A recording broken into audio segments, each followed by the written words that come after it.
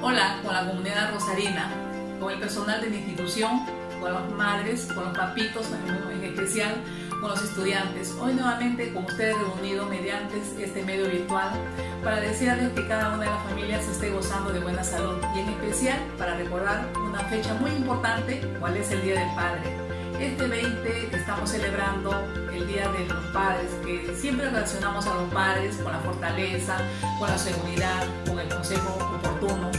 Eh, los tiempos han ido variando en cuanto a la labor de los padres. Los padres ahora también comparten las labores con las mamitas.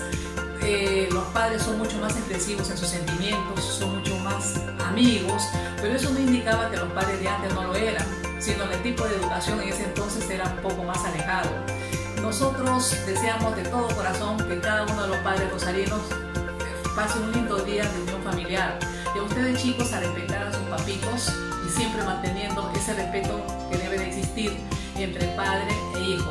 Y no solamente agasajarlos ese día, sino siempre.